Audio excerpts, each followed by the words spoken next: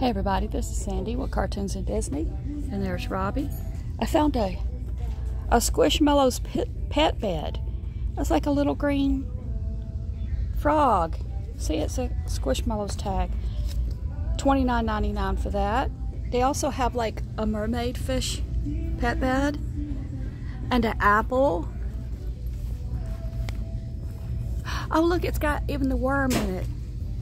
Oh, Puppy's porch. Let's see how much that is.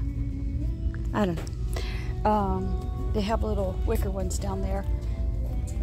But I just wanted to show you the pet beds. They're so cute.